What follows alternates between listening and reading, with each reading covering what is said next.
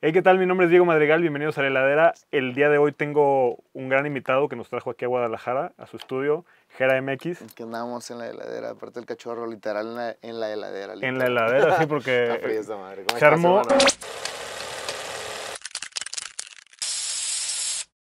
se armó la heladera porque hace mucho calor en Guadalajara. Sí, sí, está caliente, parece playa sin playa. Sí. ¿Cómo, cómo es tus días en Guadalajara? Pues algo de noche, ah, gua- dice el chaparro, ¿cuándo han visto a Batman y el Jera juntos? no, hace un chingo de calor, entonces trato de hacer todas mis cosas en el estudio de día, oficina de día, lo que pueda acomodar y en la noche ya me muevo a, a jugar fútbol, a hacer ejercicio, a correr un poco. Entre semana trato de tener así mi vida muy normal y más ahora que acabo de sacar un álbum Sí. y que ya tengo como programado mi siguiente EP y mis sencillos, como tengo muy organizado esa parte de los lanzamientos, mm, estoy disfrutando ahora que las fechas están siendo pues muy divertidas, ¿no? De que me han tocado festivales, ferias, la gira con AMPA, tocar con AMPA siempre es, es magia, ¿verdad? Es como un maestro, es como ir a tocar con un sensei. Ajá. Entonces pues estoy disfrutando esa parte de poder tener tiempo para mí, recuperar mi vida social y, y salir un poco. Sí, ¿cómo es tu, o sea, una vida, o sea, regresar a tu vida normal o como qué diferencias tú notas de tu vida de rapero y tu vida normal? Es que la vida de rapero siempre está, es un estilo Sí. de vida y lo tengo, pero el año pasado y antepasado sí fue un poquito eh, como de crisis y colapsé un poquito porque era llegar, tocar viernes, sábado, domingo, llegabas el lunes, em, el martes y el miércoles ya estabas haciendo maleta porque tenías que llegar el jueves a otra ciudad a hacer eh, prensa y el viernes tocar sábado, domingo. La gira de Estados Unidos me mató un poquito el espíritu porque fueron, no sé, era de tocar el martes, tocar el miércoles, luego hasta el domingo y nomás descansabas el lunes o descansabas Ajá. dos días. Entonces me cambió el modo, de repente decía, yo necesito el ejercicio como para, con los ataques de ansiedad es la única Sí. manera que los controlo con ejercicio y, y estaba perdiendo esa parte de poder hacer ejercicio. Más que nada ese era mi, mi rollo, ¿no? ¿no? Me encanta tocar y siempre que pueda tener un micrófono en la mano lo disfruto, pero estaba perdiendo el- el- lo que me hacía contrarrestar la, la ansiedad, que era hacer ejercicio. Sí, sí, Entonces sí. ya, ya encontré el equilibrio este año. ¿Cómo lo hiciste?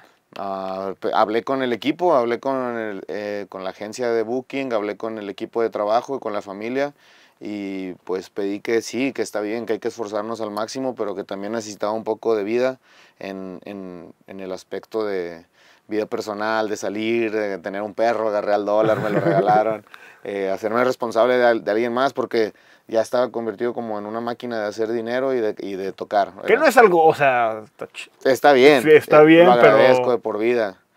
Pero también hay una parte que se pierde y que no se llena con ninguna de las otras cosas. eh, no se llena ni con aplausos, ni con Sí. dinero, ni con shows, ni esa partecita del domingo donde todos están haciendo algo, como ver una película, como Sí. salir al parque. Pues de repente tú te encuentras en, a la madre, va, llevo 16 domingos.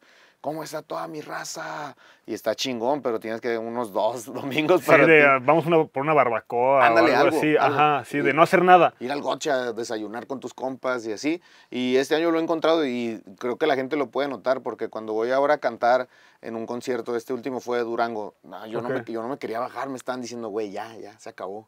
Yo, no, ni madre, es otra, otra, güey, otra. Te lo estoy disfrutando más. Sí, me lo aventé de a palenque. y, y eso se nota, pues, o sea, al final eh, tu calidad como artista y como humano sube. Una, porque tratas mejor a la gente. Sí. Y dos, porque te entregas mejor en el escenario. Bueno, en mi caso, ¿verdad? Hay, hay raza que yo admiro y respeto y que veo que están show tras show, tras show, tras show. Y digo, está bien, a lo mejor es por que yo empecé a viajar desde los 14 años, tengo Sí. 29, eh, y tal vez todo eso sumado lleva a, eh, a- decirme, "Eh, güey, ¿qué onda? No te olvides también de la persona, no nada más el artista. Sí, la persona que era el artista, ¿no? De ahí también viene el arte, un poco la Claro. inspiración. Y, y vivir para escribir, o sea, si tienes un loop tan, tan grande, pues, ¿qué te queda para escribir? Si- Si escribes, estoy haciendo dinero, monedas, viajes, o sea, Sí. como que hay un trail loop del rap que dicen que todos hablan de lo mismo, me Claro, imagino, pues es ¿no? que están viviendo lo mismo, es, lo mismo, es lo mismo. Sí, que sí, sí. el carro, que una cadena, visitas más al joyero que a la familia en muchos casos cuando no vives en la ciudad. O sea, y, lo- y no hablo por mí, hablo por muchos que están viviendo esa situación. Eh, visitas más a un güey que hace videos, visitas más a tu estudio. Muchas cosas que podrían ser atípicas se vuelven muy comunes en la vida de alguien que está en ese circuito 24/7 y con toda la intención de llegar hasta arriba. Y te quita, un- te quita un buen de energía, me imagino también, ¿no? Sí, la energía y te quita yo creo que un poco la empatía. Te, o sea, Ok. te quita la empatía Sí, sí. de que, no sé, a veces se, se te empieza a olvidar que un simple saludo o una simple acción que puedas hacer con alguien, le- firmarle la playera a alguien, regalarle la playera a alguien, puede marcarle a él el mes o hasta el año o algo que va a contar siempre en su, en su vida o en su borrachera o en su convivencia. Ajá. Y a veces pierdes la empatía de decir, "Ah, ot- otra vez, otra vez, otra vez. Entonces yo creo que eso me ha ayudado mucho a como equilibrarlo y volver a sentir la conexión full, Sí, me full, imagino full, que full. llega un punto que ves a los fans como una masa y no como personas individuales de tanto como... Claro. Y yo ya volví a lograr a verlos como personas individuales. O sea, eso, eso está chingón. tenía mucho sin hacer firma de autógrafos. Hice una aquí en Guadalajara. Ajá. Y como que otra vez pude tener el face to face así con la gente y le decía, güey, ¿cuál, cuál es tu canción favorita? ¿No? Como, y, ¿pero por qué? Y, y toda la raza de la firma me decía, güey, velocidad. No, yo, no mames, no, güey, tengo esto sin hacerlo cinco años. No, ¿cuál, Sí. cuál velocidad? Y pues sentía chingón porque me decían, güey, esta canción me sacó de, de esta depresión.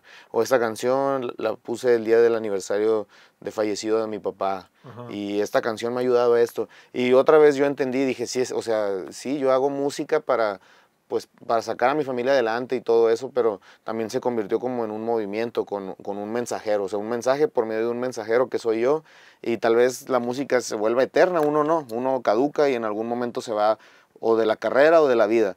Pero creo que las canciones quedan ahí. Yo tengo canciones de artistas Sí. que ya no están. O sea, te voy a poner un ejemplo, WK. Ajá. Yo canciones cuando me quiero sentir así como un poeta moderno, un poeta así perdido, escucho al WK y pues ya lo hizo eterno. Él ya no está para decirme, escúchala, baja mi canción en el siguiente link. Pero yo en automático yo digo, ay, güey, me quiero sentir así, deja escucho la canción. Y eso me hizo volver a conectarme con la gente así en el cara a cara de nuevo. Claro, a veces hacemos como que mucha promo y la mejor promo es hacer un buen disco que la gente conecte. ¿no? Para siempre. Y me imagino que eso también es gasolina, que pues, hablando de gasolina, Mustang 65, Sí, ¿qué tal esa transición? eh? fue, fue, fue- se comieron un comercial. Eh, Mustang, ¿con- dó- ¿Dónde nace ese concepto del Mustang 65? Eh, ¿al- ¿Algún acercamiento de niño con ese coche o, Sí, o un recuerdo? o un es como- recuerdo más que nada. Ok, Ah, cuando yo llegué a Guadalajara, vivía en Atemajac, eh, es un barrio allá para el norte, sí, ¿verdad? Sí. Para el norte. Y pues había un señor que tenía un Mustang rojo. No, no era el 65, pero era un Mustang rojo, cuidadito. Lo lavaba y lo pintaba y le hacía. Y decía, qué loco llegar a esa edad y, y que tu preocupación sea nomás traer tu carrito sí. viejito, bien cuidado.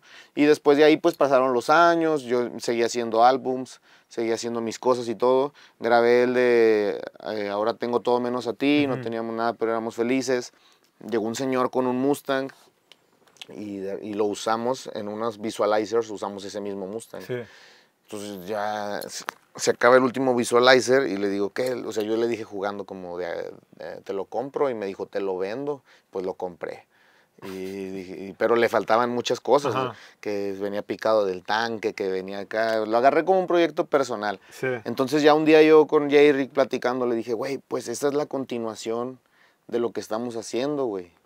Le dije, si el último disco se llama Ahora tengo todo menos a ti y el Mustang fue parte del disco este, pues ahora que el nuevo álbum se llame Mustang 65, le dije, porque también si lo veo desde un punto más poético, más este, romántico, le dije, estoy en ese momento de mi vida donde no tengo que acelerar, güey, donde voy disfrutando del paisaje, todos están haciendo un desmadre, todos están rompiendo récords y haciendo el número uno, y yo estoy en una etapa de mi vida donde estoy disfrutando de ver eso, donde, donde me paro se llena, Sí. eh, me va muy bien, gracias a Dios, en mi carrera, gracias a la vida. Me, está yendo muy bien en cada proyecto que he lanzado, como tanto musical como tanto empresa. Ajá. Y también algunos proyectos que tengo por fuera de un restaurant bar, eh, cositas que estamos haciendo ahí de, de un tequila, marcas. Todo está yendo tan bien que le dije, güey, me siento en el Mustang, es descapotable, fumando. Le dije, ese es el momento de mi vida ahorita, güey, 29 años, no, no le rindo cuentas a nadie más que a mamá. Le dije, entonces, Mustang 65 será el nombre del álbum, ¿no? Estoy el pedo, ¿no? Sí, dije, y así va, y eso, eso fue lo que hizo. Hablé con Luigi, le empezamos a meter mano y pues me lo dejó así de Hot Wheels, el coche lo amo. Mañana rodará. ¿Y cada cuándo lo mantiene? O sea, le dan porque... Yo te pregunto eso porque yo crecí con... Mi tía tenía un Mustang de cuando era joven. No sé si 65 o 70. Y mi tío es mecánico. Entonces todos los días le daba al Mustang así como... Yo lo, yo lo veía a él muy metido en el Mustang todos los días. Como terapia, como si fuera un árbol, árbol bonsai. Pues es que nunca acabas de meterle, porque si- como ya son coches viejitos, pues Ajá. necesitas como estar pendiente. Lo que nosotros hicimos fue corta corriente y, y se lo prendes para cuando se va a usar. Y alguien que va y lo checa una vez al mes, dos veces al mes. Entonces está sencillo porque el chaparro, que, mi que ahorita es mi mano derecha, le, le sabe mucho a los carros. Entonces él, él me lo mantiene al putazo, pues de que no, de que, "Eh, güey, esta madre, la pila está desgastada, esta bujía, esta madre. Le pusimos dirección hidráulica, sonido, o sea, lo, lo, Sí. lo, lo puse moderno. Sí. Y este güey se ríe porque dice que lo manejo como si fuera el Mercedes acá. Ando tendido en esa madre. ¿Y qué tal el sistema de sonido? ¿Tiene buen sistema de sonido? Sí, es descapotable, no truena tanto, pero suena muy bien. Ok, ok, ok. Sí, es un, es un buen coche para tener. Sí, es algo así. Oye, ¿cómo ves ahorita? Hablando de hip hop, eh, se cumplen ahorita 50 años del hip hop. Justo el 11 de agosto se cumplen eso, se supone. Vas a estar en Rosarito. Sí, fue, eh, va a estar en Rosarito en el Baja. Ajá. Es una gran fecha, es, eh, es intriga porque igual el sueño fue en Chicago y pues la gente va a divertirse, el reggaetón predomina en eso, pero Sí. es genial cantar rap ahí, es como, no sé, es como cuando te invitan a una fiesta de un tema y tú llegas vestido de otro tema y la gente se pregunta por qué vas así. Ajá. Y eso me Llama está- la atención. Llama la atención y me pasa y, y me recibieron muy bien. Ahora el Baja. Estuve en, en New York para lo de la presentación de la botella de Nas, también con los 50 años de hip hop. Está, estuvo los que, que- los que restan de los integrantes de Migos. Fue ese día también. Los, que, los otros dos, ¿no? sí, sí, sí, claro. Eh, Take Off, ¿no? Me parece que fue el que falleció. Offset. Offset. Takeoff es el de la Cardi B. Ok, creo, no sé cuál estaba ahí, la verdad no consumo mucho ese tipo de trap o de, o de rap, pero estaban ahí, pues vi que llegaron con su clica, estaba lo del museo de Jay-Z, él sí lo consumo, Sí, sí, sí. eh, fue el museo de Jay-Z, entonces estuvo bien loco porque eran los 50 años del hip hop y cuando yo estaba en la calle me llevaron a Brooklyn como a hacer algo de Genesis y cuando estaba en la calle salió un vato y se quedaba viendo y se quedaba viendo y ya hasta el final se animó a decir, no sé, bro, yo soy de la Junior Mafia, güey. Y me enseñó una foto, mira, soy este, y sale Biggie, Lil King, salen todos la Junior Mafia. ahí está. ajá. Y estábamos grabando justo en la, en la escalera de su casa. Y dije que, o sea, qué loco, ¿no? Los 50 años del hip hop y me topó un vato de la Junior Mafia para contarme su historia con Biggie Sí, en Brooklyn. sí. Y, y pues fue como que me motivó. Aparte la fiesta fue genial. O sea, en las paredes había como un mapping y era la historia de Eminem, la historia de Exhibit, la historia de Dre. eh, la- estaba la historia de cada uno como en rotación. Y nada, se aventó un, un show- un pequeño show y después, no sé, o sea, me hizo sentir parte de la cultura de una manera dif- Claro. diferente, como me recordó por qué me metí a esto, por qué lo admiro. Yo no empecé consumiendo hip hop americano, hip hop de Estados Unidos, Sí. pero obviamente cuando ya te involucras en algo a tal grado, a, tal- a- a tan gran escala, terminas por estudiar qué pasó, ¿no? Eh, Tupac, Biggie, Nas, Jay-Z. Y obviamente para mí siempre el, el mejor rapero de, de esa rama estadounidense es Jay-Z, porque es rap puro, es como un- el oro sólido así de esa madre. Y todo lo demás lo respeto y lo admiro, pero fue, fue como, fue, fue algo inspiracional, fue ok. Sí. Y sabes que vi también que todos estos güeyes se brindan un, un respeto, no sé si decirlo obligado, Ok. pero un respeto de, güey, me vale madre si no me gusta tu producto, me vale madre si no, me, si no vamos con la misma idea, pero respeto lo que estás haciendo porque lo estás llevando para donde a todos les conviene que vaya. Entonces fue increíble ver que lo que predomina en, en New York sigue siendo el rap de la, de la mata, o sea... Claro. También creo que ellos vieron mucho, o sea, como lo feo que se puede poner el hip hop con todas Claro. las muertes que hubo en su momento. Que sigue habiendo. Sí, sí, sí, sí, sí. Digo, por drogas, ¿no? Pero antes se tiraban, bueno, los amigos también. Sí, lo de Migos fue igual. O sea, lo de Nipsey fue igual. Sigue habiendo un chingo de ese movimiento y un chingo de traición en ese pedo. Pero justo eso como que me hizo reflexionar porque los veía unidos. O sea, decía, pues estos datos no sé si se caigan bien, si no se caigan bien, si se lleven o no. Pero estaba como el respeto del brindis, el respeto del, del pues es, es güey. O sea, todo- todos grabándolo. Sin el ego de que yo soy, yo soy tal, güey. No, no voy a grabar a ese güey porque yo soy tal. No, estaban todos ah, admirando el arte de este vato, de, de, de Nas, y pues me vine con esa idea, dije, ok, el- eso es como tal vez un clic que falta en, Aquí. en- aquí de poder ver a, a raperos celebrando el éxito de otro, güey. O sea, por ejemplo, no sé, que, que alguien logre algo y podernos invitar sin, sin necesariamente cansar- cantar una canción, pero pues poder brindar por él, por, por el éxito que está teniendo y poder aplaudir el logro de alguien más sin sentir como que, oh, me está ganando, Sí. o es el uno, yo soy el dos, yo, ya, eh, y me vine con esa ideología, con esa mentalidad. Tienes un single en el disco que se llama Traición, que mencionas igual como muertes de ciertos personajes del hip hop Así que, en México, pero también siento que es una celebración como de tratar de vivir la vida al máximo. sí, la, la re- eh, ¿Tiene que ver con esa experiencia o...? No, ya estaba grabada esa canción. Ajá. Pero tiene que ver con, pues más que nada con Alex Malverde, Sí. eh, con Neto Reino, que son con las personas que más conviví. WK, yo era, soy muy fan de su música. eh, en- el grave, el grave para mí en las batallas pues fue como un pilar. Las batallas me gusta, me gusta Sí. verlas.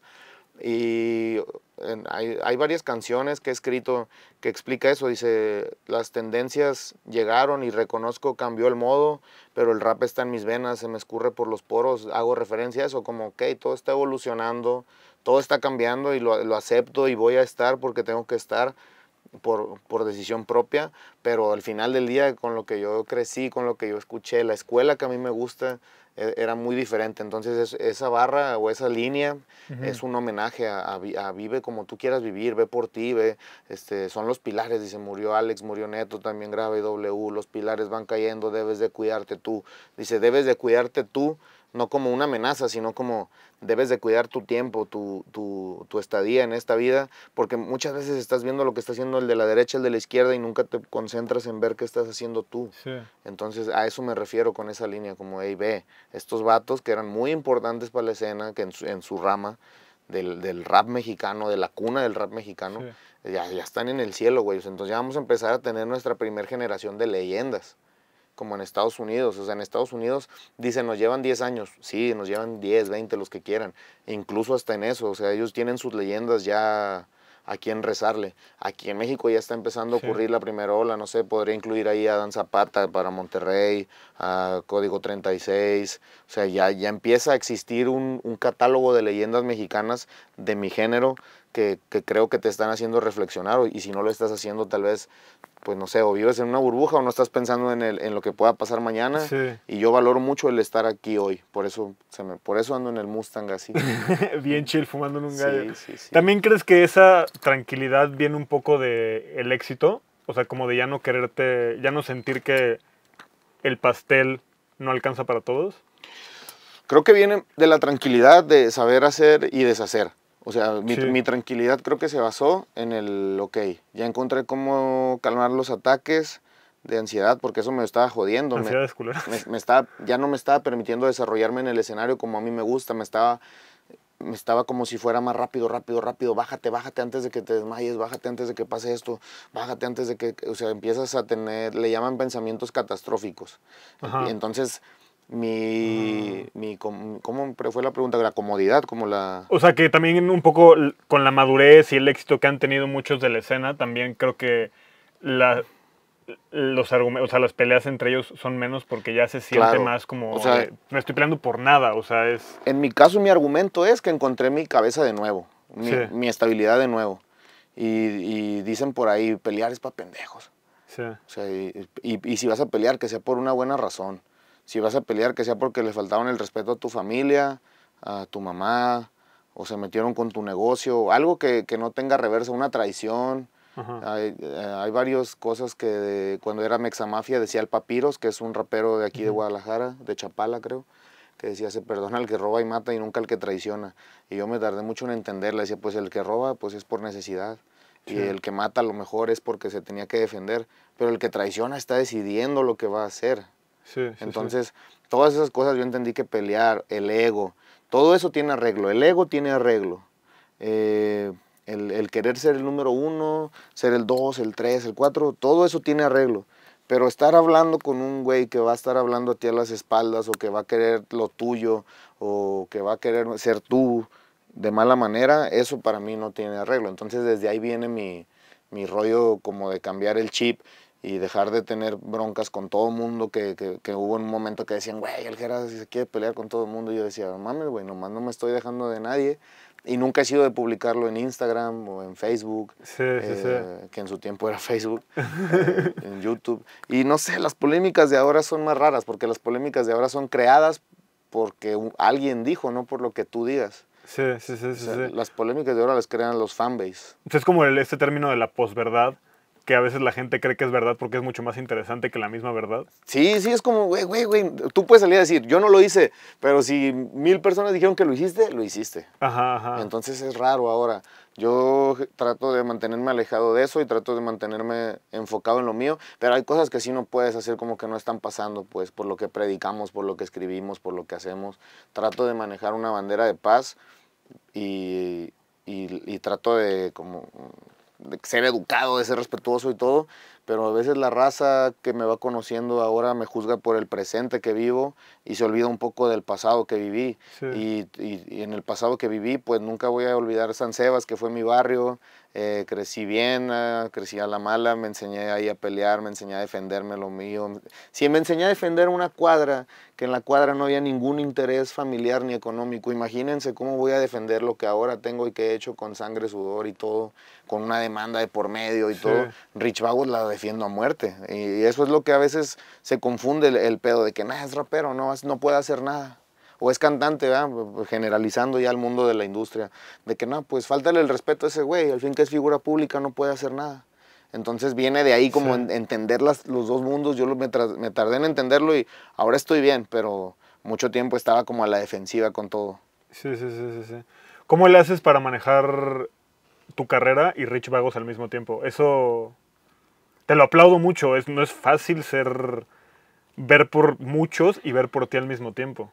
Creo que mm, pues todos los involucrados en Rich Vagos, Sí. fuera, o sea, aparte de los artistas, los artistas siempre entregan bien su música a tiempo, tratamos de ser lo más puntuales posibles, que tú sabes que en la música no siempre se puede, porque a veces piensas algo y a la otra semana los artistas piensan otra cosa, pero todo el equipo que hay detrás creo que se ha esforzado demasiado, Galia, Razor, eh, Chino, Durán, todo el equipo que hay detrás de marketing, Fede, todos ellos eh, creo que me han ayudado mucho, la flaca en el merch. Entonces cuando al inicio entré, yo sí colapsé un poco porque decía, fuck, güey, o sea, o soy Jera o soy Rich Vagos. Sí, sí, sí. Y ya que encontré las manos adecuadas, ya pude volver a ser Jera, pude volver a salir a gusto de gira. Cuando fue la gira de botella tras botella, para mí era muy difícil entender que tenía que dejar toda la empresa por ir a cantar una canción 30 veces a Estados Unidos Sí. pero al mismo tiempo era el sacrificio de, de tener las visas de trabajo y obviamente pues un honor ir a cantar con Cristian Nodal, ¿no? O sea, estaba, estaba cantando en lugares de 25 mil personas todos los días y eso es exposición gigante. Sí, totalmente. Y, les, y agradecí mucho, pero al mismo tiempo era entender que no podía cuidar mi empresa porque tenía que ir a hacer GRMX. Entonces yo creo que lo, lo, lo encontré y lo entendí cuando vi las manos adecuadas. O sea, ahí pude decir, ok, ya, la empresa funciona así, yo funciono así, y yo me sumo cada que, cada que tenga descansos, yo me sumo, o sea, no hay descanso. Yo me sumo en mi tiempo libre. Sí, sí, sí. Por eso me imagino que tienes un tanto problema con la traición, ¿no? Porque la confianza es algo muy importante para dejar tu bebé a otras manos. Sí, ¿no? Y si hago una, o sea, los, eh, en, en terapia el otro día hice como una lista de las cosas que me hacían sentir traicionado o dolido, y Ajá. otra lista donde yo he sentido que he traicionado. Sí. Eh, y pues sí, o sea, yo también he hecho cosas malas, no soy un santo, pero era mucho más grande las cosas que me hacían sentir mal. Sí, sí, sí. Y analizando las cosas que me hacían sentir mal, no encontraba el motivo de, por ejemplo, fulanito, que me dicen, güey, ¿por qué te dejaste de hablar con tal? ¿Por qué dejaste de seguir a tal? Cabrón, le está mandando DM a las 3 de la mañana a la chica, a mi ex chica con la que estaba juntado, con emojis, con cervezas, diciéndole, hey, hay que salir. ¿Para qué quieres a esa gente cerca, güey? Sí. No importa cuántos views me sumes, cuántos likes me sumes, no me importa, no me interesa compartir contigo un plato de comida más. Porque si le estás mandando a mi morra 3AM un, un diablito, no, eres ciego, no sabes qué significa Sí. un diablito. Sí, sí, bueno, ese uno. Y el otro, güey, que por qué ya no va a haber esto parte 2. Güey, te estás metiendo con una exnovia, güey. O sea, ya no, no, no quiero ser el, el pinche todas mías ni nada, solo ni voy a pelear ni nada, pero no te quiero cerca, nada más, es todo. No, no confío en esta gente porque haces esto aún sabiendo lo que, lo que representa. Si lo haces así a mis espaldas, ni me imagino qué vas a hacer de frente si un día ya completamente está declarado el, el, el, el, disgusto, ¿no? Como la bronca ya de frente, y ni tú te vas a imaginar lo que yo quisiera hacer. Y entonces por eso dije, ah, güey, basta de polémica, basta de todo, mejor me alejaré de todo, este, de todo este rollo, sacaré mi disco así, colaboraré con quien quiera colaborar, con quien le guste mi arte. Nunca he marcado a alguien, oye, güey, ¿cuánto una colabo, por favor, lo necesito para el álbum? Este, y no sé, creo que la gente agradece mucho cuando la música es así también. Y también, y yo me agradezco a mí cuando llego a dormir y digo, ah, huevo, no, no tengo que tener uh, conversaciones, comidas, colaboraciones, eh, premios o reuniones con vatos que no, que no me estiman de corazón, porque para mí la música es como el alma de lo que tú eres. Para mí mi música es mi alma. Sí. Y si la comparto con alguien es porque estamos congeniando. Para mí no es nada más un negocio. Hay muchos artistas que lo hacen por negocio, está bien, llegan hasta arriba, pero llegan muy solos, o no sé cómo llegan. Sí, sí, sí. Eh, y yo considero que para grabar con alguien me tengo que, no tiene que ser mi mejor amigo, pero tiene que haber algo de respeto, algo, algo en común. No sé, con Relsby me pasó, Relsby llegamos, nos conocimos y nuestro punto de encuentro para poder grabar la canción de Se me olvidó fue que los dos teníamos el sueño de sacar a nuestra madre adelante lo máximo posible. Sí. Y ahí se une algo. Ahí no somos amigos porque nos acabamos de conocer, pero ya tenemos algo en común muy fuerte que la gente puede compartir. Y ok, se me olvidó. Ah, arre, pum. Fue un hitazo, listo. Eh, y, no, y, me han pasado otras cosas como con Cristian, que Cristian sí es mi amigo. Sí. Y de que, oye, güey, pues hay que hacer una rola jugando para pasar la pandemia. Pum, botella tras botella, pum, un madrazo. Y de repente, pues eso es lo que dices, güey, no hay necesidad. Bueno, yo en mi cabeza pienso, no hay necesidad de andar tragando mierda gratis por fama. O sea, no, no estoy en esa posición ni, ni quiero estar en esa posición. Claro, claro, claro. Igual, es, creo que en algún momento escuché a Bad Bunny decir que colaborar era como desnudarte con otra persona, como el, el punto más alto de convivencia, como el más allá. O sea, no sé, yo nunca he colaborado con otro artista, lo estamos haciendo ahorita, pero... Claro, pero tenemos algo en común, ¿sabes? Sí. Estamos, estamos platicando con una energía positiva, con un respeto, saludas con respeto, yo saludo con respeto, ya desde ahí viene, bueno, Claro. listo. Y, y yo creo que sí, colaborar con alguien es como bajar la guardia completamente. Sí, ¿Por qué? Porque muchas veces las canciones se graban o, tomándote un trago o aventando fiesta. Y es muy raro, yo, yo, no- yo trato de mínimo fumar algo, pero no creo que alguien llegue, salude y diga, bueno, listo, vamos a hacer la canción, este, ponle ahí mis barras, las tuyas, el coro, bueno, ya, gracias, me voy. Eso, pues no sé, sería como si fueras a la oficina a entregar un informe sí, sí. y la sí. música se supone que tiene su grado de libertad y su grado de arte a, a la, a la máxima expo- exposición. Entonces, para mí hacer una canción con alguien eh, sí es muy importante, no es como algo que diga, ah, hoy fui a grabar con fulanito porque, pues porque está de moda, Claro, ¿sí? O porque se pegó. Claro. O porque este güey, cuando fue lo de botella tras botella es el claro ejemplo, me escribieron un chingo de gente, pero no querían grabar con Jera, querían grabar con el de botella tras botella. Porque les decía, arre, güey, vamos a hacer algo, pero así. No, no, no, quiero, quiero que cantes así como en la de botella. Le digo, no, güey, esa madre me salió. En ese momento, en porque ese- era el momento. sí, Sí, Y ya, y ya me salió así, güey. Y yo seguiría haciendo mi estilo. Es más, si vuelvo a hacer otra rola así, sería con el Cristian, porque así fluyó, nada más. No, no, no, no me gusta como montarme en la ola de que ah, esto me funcionó, déjame voy aquí, aquí, aquí. Claro. para eso trabajo un chingo y tengo mi mente trabajando siempre 24/7 en otras cosas, como para no, no sacrificar ese lado bonito de la música, no prostituirlo de alguna manera.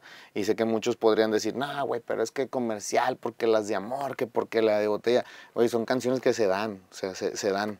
Yo no me meto al estudio pensando, ah, voy a escribir así. Yo, yo compongo aquí, sí. aquí. Yo nunca voy, estoy en mi casa pensando, mañana voy a ir y... Y hacer un hit. Sí, voy a hacer un hit, de, una rola que le pegue a tal y que... Ajá. No, no, no, no. Yo llego aquí y el J. Rick está en los pianos y le digo, ¿qué has hecho, güey? ¿Qué melodía? Tan, tan, tan. Uf, le digo, me encanta. Y le pregunto, ¿cómo, cómo le pegaría ahí? Y a ver, así, bueno, ok, le voy a pegar así, le voy a pegar así. O sea, Claro, claro. creo que la única vez que he hecho algo planeado fue una que se llama Modo Caribe y porque quería irme a la playa a grabar un video de la playa. O sea, sí dijiste como de, ah, Sí. Y ocupo un coro de salsa, güey, que salgan un chingo de chicas ajá. y nosotros en un yate y en la playa y ya. Y ya checklist de rapero, ¿no? Sí, dije, pues, amén. Claro, claro. Oye, ahorita que estamos hablando de Railsby y de las colaboraciones, ese tema lo tengo que tocar. Eh, esa foto con Alemán, luego lo del partido de fútbol, que, se, que a mí me parece una... O sea, este, yo la verdad no sé si el conflicto, luego el, el internet lo creció de más. Yo creo que a ese güey a mí nos pelearon. Ok. Nos pelearon, las opiniones divididas, el ego. Eh, ya hubo un punto que él y yo lo agarramos personal. Sí. Pero, por ejemplo, todos me decían, no, güey, que porque traicionaste a Alemán con Alex Malverde. Alemán y yo teníamos sin hablarnos antes de que falleciera Alex Malverde años, güey. O sea, el Alemán y yo duramos sin hablarnos siete, ocho años, güey. O sea, Alex trabajó conmigo un año. Sí. Entonces, yo llego a TCM, me dicen, güey, ¿qué- ¿a quién quieres de booking?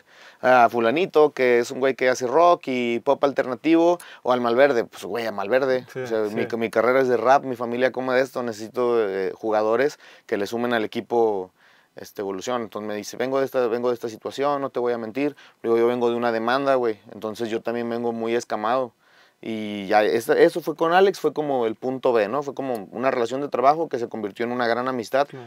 ¿Por qué? Lo he dicho varias veces. Porque me trató como una figura paterna que yo no había tenido en muchas cuestiones. Ujú. Ten un rastrillo, ten unos condones, ten un gel, te ves bien, esta gorra no me gusta, esta chamarra sí me gusta. Consejos que otra persona, yo le digo los sisis, que, que Sí. una persona cuando gana de ti, sí, sí, todo está bien, sí, sí, sal así, drógate, güey, sí, sí, no hay pedo, tú vete con esta morra. Y este vato para mí fue una- un vato que me, que me ayudó. Que te cuestiona. Sí, me cuestionó y me ayudó a centrarme en muchas cosas. Me, me llevó a Vegas a enseñarme cómo era el juego en Estados Unidos, en muchas cosas. Entonces, bueno, eso es punto y aparte. Yo se lo agradezco a Alex. Sí. Yo no conozco a fondo la historia que tenga con Alemán.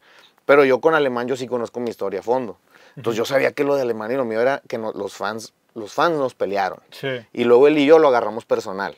Pero lo de él y lo mío fue ego, fue como yo soy el uno, no, yo soy el uno. Y yo me acuerdo porque desde que éramos amigos y éramos morros, íbamos para una ciudad y decía, hey, güey, pero yo, yo quiero ganar más. Pues yo quiero ganar más, güey. Sí. No, no, bueno, vamos a partir hasta la mitad, pero en la que sigue gano más. Y así estuvimos mucho tiempo cuando girábamos juntos, me tocó una en Vallarta, él estuvo en mi casa en San Luis, yo estuve en su casa en Cuernavaca.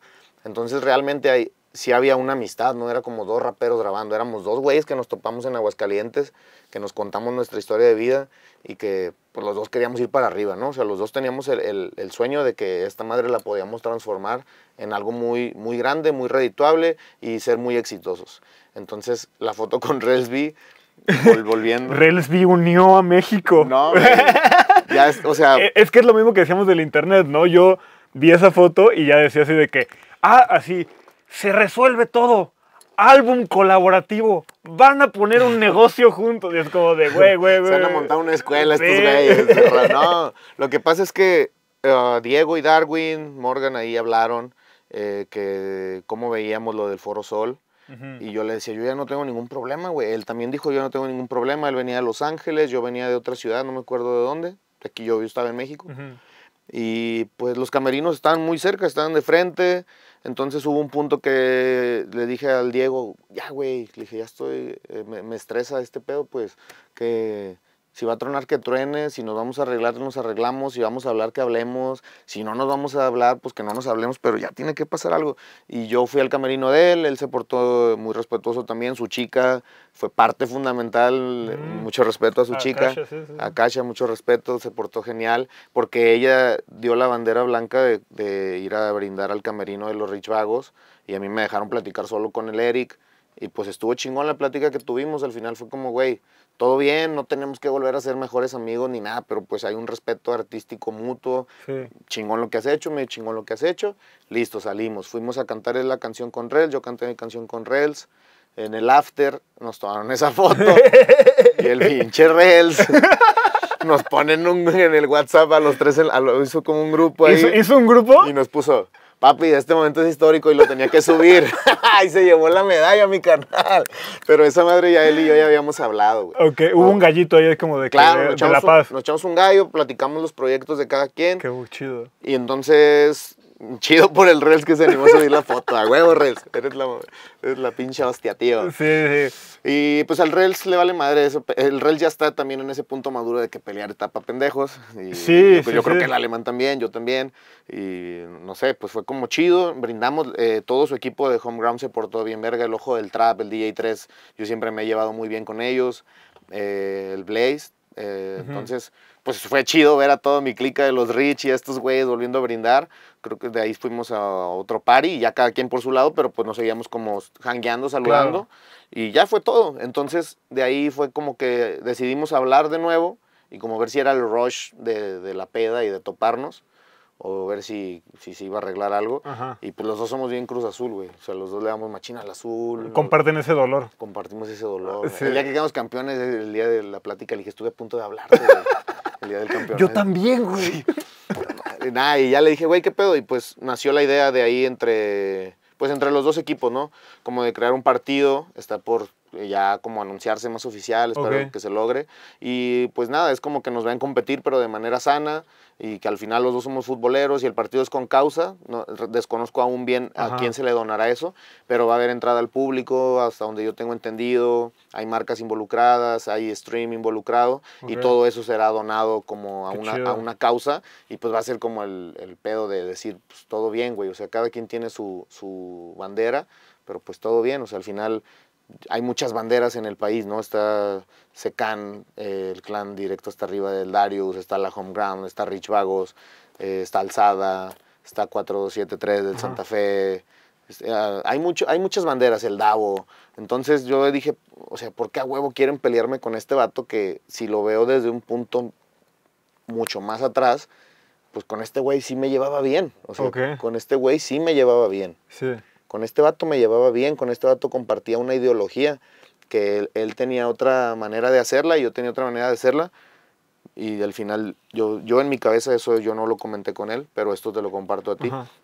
yo pensé, de todas las polémicas y de todos los pedos que me han dicho que raperos y que fulano y que mengano, con este vato es el único que ha sido por ego, sin faltar la línea del respeto ni familiar, porque yo admiro a su familia, me alimentó, mi familia lo alimentó.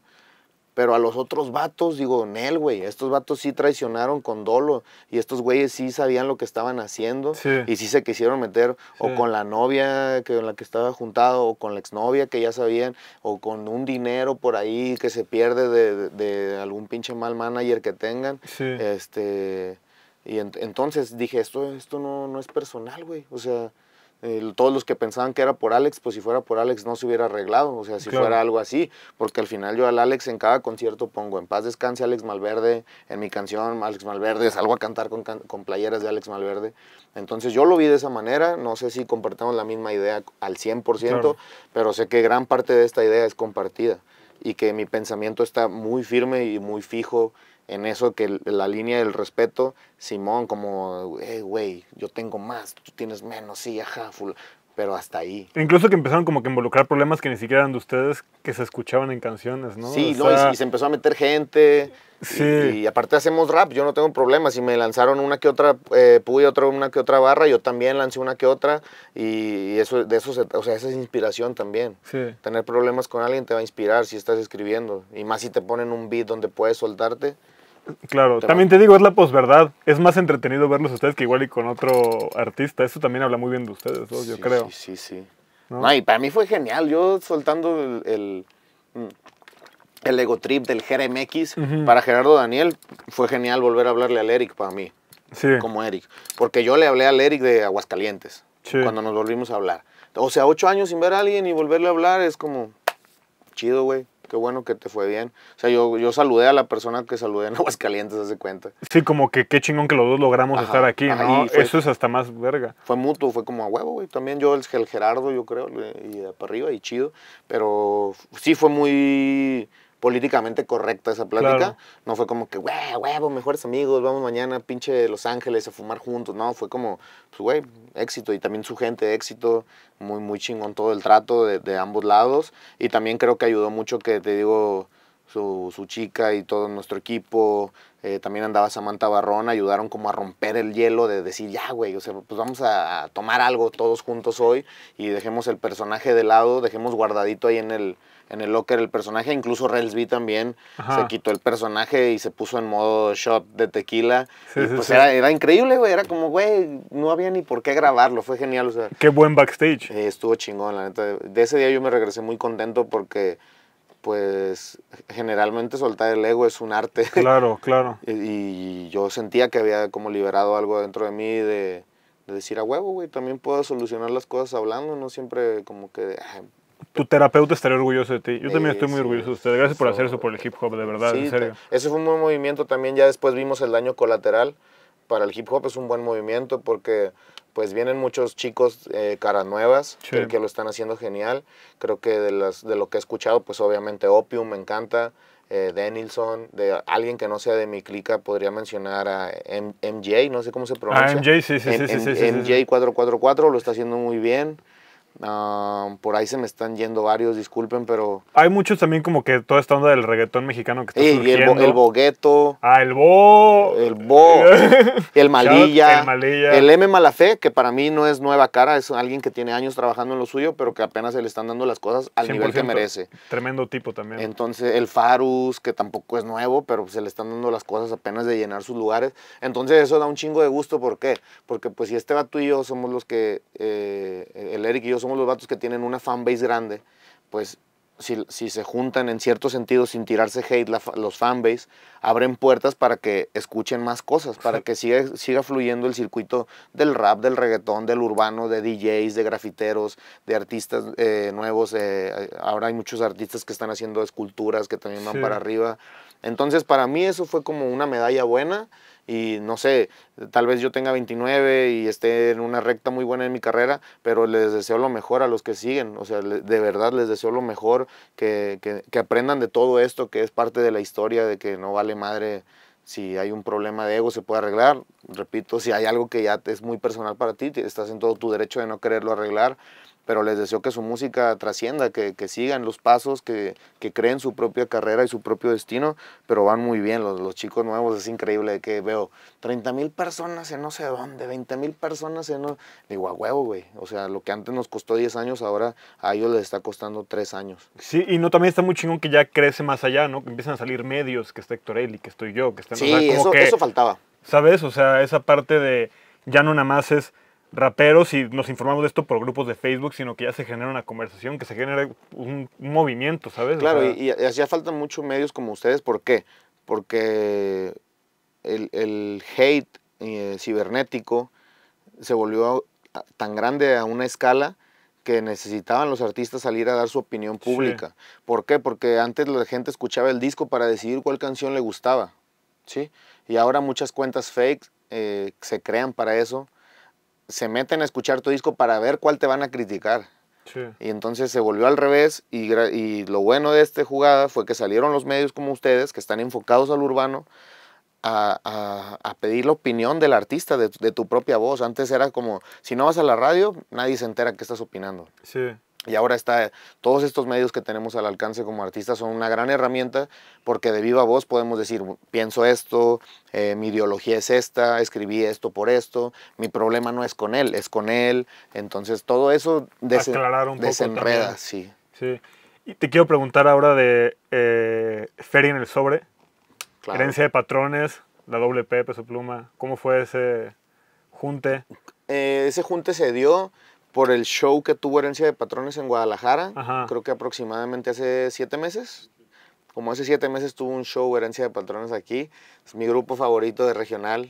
Siempre, siempre que pueda grabar con esos güeyes voy a grabar. El JD es un vibe, ¿no? Nah, el JD, el Lucy, todos juntos, el Vladi. Ajá. O sea, son la fiesta con piernas, pero una fiesta cool, porque de hecho creo que es muy raro, muy poquitos toman del grupo. ah, ¿en serio? Sí, creo que Pura de no. marihuanos Sí, nomás, pues ¿no? sí, pues, un gallito. Mm. Y su doble vasito. y entonces ese día cayó el doble P, el pesito pluma Ajá. cayó para allá. Eh, Eso fue antes de... es- de- eso fue antes del boom de peso pluma. Sí, sí, sí. Porque eso tiene que ocho meses, siete meses, creo. Yo vi una foto contigo, no sé si fue ese momento. No, eso fue aquí ya en el estudio, pero la de allá fue una historia que él mismo grabó. Él me dijo el peso, ay, carnal, que se vente aquí esta historia. Pum, subió una historia conmigo, luego el JD, luego venimos aquí a este estudio y se trajeron pues a todos los músicos y los instrumentos y se aventaron como un show aquí abajo, ya en la peda. Y pues estaba bien verga, estaba cantando el peso pluma, el JD, el Lucy tocando, estaba Raúl, estaban varios de, las, de las clicas, ¿no? Que, que están del regional como de esa línea. Y pues nosotros como raperos disfrutando todo el pedo de estos güeyes. Y luego, a ver, pongan una rola ustedes, pues en la troca, súbele machín y enséñales este previo. Y, y, de ahí fue cuando dijimos, hay que hacer algo, ¿no, Simón? Y el JD traía la, el tono de feria en el sobre, el Lucy traía la guitarra y ese día grabaron el hook. Después yo vine y grabé mi verso y después el peso en, en un momento que tuvo de, de, su gira vino y grabó su verso y ahora mismo no coincidían ya los tiempos para el video. Le dije, hey, güey, me encanta este dato que hace animación, güey. Él me hizo el de Siempre High y les pareció buena idea. El peso siempre se ha portado a la orden, el JD se ha portado siempre a la orden y por, así nació Feria en el Sobre. O sea, era como, ¿qué es lo que más nos gusta a los tres de, de, todo este pedo? Pues la feria en el sobre, ¿no? Pues va, güey, feria en el sobre. ¿Qué nos une para hacer una canción? Billetes, pero billetes de buena manera, cantando y sudándole y, la verdad que, pues no sé, Herencia es un grupo que admiro demasiado, que yo en lo personal considero que merecen más reconocimiento. Súper innovadores, o sea... Sí, güey, o sea, tiene una rola que se llama El Piloto Filósofo, Piloto Filósofo piloto filósofo, y otra que se llama Distinta Movida, que las escuchas y dices, damn, güey, este vato está cabrón, cómo piensa y cómo flowsea. De repente creo que les falta un reconocimiento más, algunos movimientos más, y pues Peso Pluma es un fenómeno completamente fuera de, lo, de, la tierra talla. No tiene sentido, bueno, sí, un poco sí tiene sentido, pero... ¿Sabes que sí tiene sentido? Porque cuando vinieron a grabar, me tocó ver a su equipo de trabajo, que los felicito, estaban con dos celulares, como seis personas, sí, sí, mañana, los, sí, la visa, pum, sí, los premios, sí, sí, a todos, sí, sí, vamos a hacerlo número uno, vamos a hacerlo número uno, platicando con él, vamos a hacerlo número uno. Y aparte, el equipo que rodea a Peso Pluma, Jaciel Núñez, los músicos, todos los chicos que lo acompañan, son buenas personas y eso es fundamental. Ellos son buena, buena gente, son buenas personas. No, yo creo que si no han dimensionado y, eso los mantiene así, que no dimensionen nunca. Y si ya dimensionaron y se mantuvieron así, excelente. O sea, de verdad, para mí, yo hablo desde mi, desde mi experiencia, todo lo que rodea ese proyecto es muy buena energía hasta donde a mí me ha tocado conocer. Eh, igual, los herencia, grandes personas hasta donde me ha tocado conocer. Y pues yo trato de ser como soy, con una sola cara y tratarlos a todos bien, que vengan, que tengan para fumar, para comer. Y eso hace que la canción se vuelva no un negocio, sino como una convivencia, ¿no? o sea, un momento... un camping chiquito. Es como un camping, comemos, fumamos, grabamos. Y así salió, la canción la teníamos en dos horas. Así, así, y va a vivir para siempre ahora. Serie en el sobre. así, out now. Aquí, se grabó en Rich Vagos. Aquí se grabó esa canción, momento histórico, ¿sí? Sí, sí, es, bueno, es una buena rola, me gusta. ¿Tú crees que eso va a abrir muchísimas? O sea, es que lo del peso yo siento que abre unas puertas que todavía ni siquiera tenemos la capacidad de dimensionar para la música mexicana. Y incluso para el hip hop mexicano, me atrevería a decir. Yo, yo creo que ya están abiertas y solo falta seguir empujando. Por, ajá, ¿Por qué? Porque, pues no sé, toda esta generación de Junior, Nata, Peso, eh, faltan muchos que, que no recuerdo en este momento, pero ellos ya llenan lugares que llenaban artistas históricos y entonces ahora ellos se convierten en los artistas históricos. Lo que pasa es que pues sí, o sea, aunque ya la gente diga que el malinchismo no existe, y sí existe aún, porque no sé, el, Junior llena lugares de, dos, dos, noches, 100 mil personas vendidas, Peso Pluma, gira histórica en Estados Unidos, el Nata, el alemán con Snoop, lo de botella tras botella, son cosas que ya están pasando, pero que el reconocimiento se va a dar hasta que pase el tiempo a la historia, hasta que se vuelva historia. Porque ahora mismo, no sé, todos dicen, sí, pero es que esto, sí, pero es que el otro, puros peros. Pero la gente que está trabajando sin ver los peros es la que no importa, o sea, tú sigues disfrutando del éxito de lo que estás cosechando. Entonces yo por eso eh, pienso que ya están abiertas, que solo falta seguir, seguir, seguir, seguir, seguir, seguir, seguir por ahí. Y yo desde más pensaba, yo lo veía por el rap, decía, güey, ya le tocó a Estados Unidos, ya le tocó a Chile cuando fue Movimiento Original, Bubaceta, eh, Chiste MC, ya le tocó a Argentina, al Duki, Paulo Londra, ya le tocó a, Brasil, tiene su propio movimiento, eh, Perú con Rapper School, Yo decía, güey, ¿cómo es, eh, ¿cómo es posible que México... Obviamente teníamos al cartel de Santa, pero no, no me tocó verlo cuando estaba Darius full, ajá, a, a full girando internacionalmente hasta ahora al, al Darius, ¿no? Eh, pero yo era mi pregunta, decía, ¿qué, ¿qué falta para que explote? Porque somos demasiados mexicanos en todas las partes del mundo, pero a veces eh, yo siento que era más el pensamiento de, ¿por qué ese güey sí, si yo lo conozco? Mejor apoyo a otro güey que no conozco. Sí. Entonces, bien, nacía de ahí y ya se rompió. O sea, Sí. aún existe, pero ya la balanza ya está inclinada para el lado que apoya.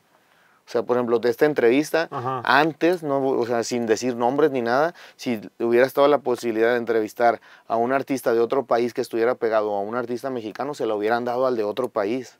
Y ahora se les da a los mexicanos, ¿sí me explico? Eso, Sí. eso cambió eso completamente y eso abrió las puertas también. También siento que hay un... C- Y el ejemplo perfecto lo voy a poner es Z Tangana con el madrileño, ¿no? Como un... Ya hay más amor por lo, por lo nacional, porque siento que vivimos en un mundo tan global que lo nacional te vuelve tú, porque es, lo, es tu esencia. Sí. Ya somos tan similares en todo el mundo que es como, pues güey, usar sombrero está verga. O sea, ¿sabes? O sea, Sí, como sí. que ya le das esa movida de, es que los mexicanos tenemos nuestra onda y podemos agarrar esto que todos están creando y darle como un shift. Hasta el palabreo, ¿sabes? O sea, a mí me encanta escuchar a Peso Pluma decir verga en una canción. Que es una pendejada, ¿no? Pero, Sí, o lo de las morras. ajá, o las morras, Las o morras. mil cosas. sí, El, el Bless, Colombia también, o sea, ya le tocaba a Colombia una generación nueva que no fuera tan, tan comercial completamente, que fue muy buenísima, de Sí. que Balvin, Maluma y todo eso. Pero entró Bless, entró Ryan, eh, entonces entró, a mí me encanta en lo personal esta chica, ¿cómo se llama? Farina. Ajá, ajá, Farina me sí, sí, sí. encanta. Entonces estoy muy involucrado como viendo qué pasa en, todo, en toda la industria por ahí. Y, y, pues, no sé, estoy fascinado que, que México sea como esa, esa punta del tren, no me importa quién. Yo lo digo como mexicano, no lo digo como GRMX. Lo digo como mexicano, me encanta ver así en todos lados la bandera y que el que cierra es mexicano y que el que va a este festival es mexicano y que la colaboración con fulanito es mexicano, es- eh, me encanta eso. Vamos por buen lugar. Vamos por buen lugar y buen camino. Para cerrar, algo que venga para ti, Jera. Ah, pues ahora mismo eh, Mustang 65 lo disfrutaré, lo sonaré, lo cantaré. Tengo una gira con AMPA en Estados Unidos de unas 20, sh- de unas 20 fechas. Ah, están los festivales en México. Y para cerrar el año lanzaré un EP ah, completamente SAT. Completamente Sí, sad, las que te escribí y nunca te canté. así se llama. Sí, no trae dedicatoria, por favor, para las redes sociales. No trae nombre, no trae apellido. Es un EP basado en lo que he vivido completamente desde los 18 hasta los 29. Es, tu, es una carta para ti. Si es una carta para mí, es una línea de tiempo. Sí. No quiero que digan, pero es que, eh, no, no, no. Aquí, por favor, ya, cachorro para arriba de Rich Vagos, las que te escribí, nunca te canté, para todo el mundo. Es para que las dediquen. Yo, yo no tengo a quién dedicar esto. Igual van a cortar el clip y solo va a salir. Se los dedico a toda la gente que me escucha de corazón y que me quiere rifando todavía. Perfecto. Muchas gracias, Muchas mi por tenernos. Ya sabes, hermano, bienvenidos a su casa de Rich Vagos. Corte. A huevo.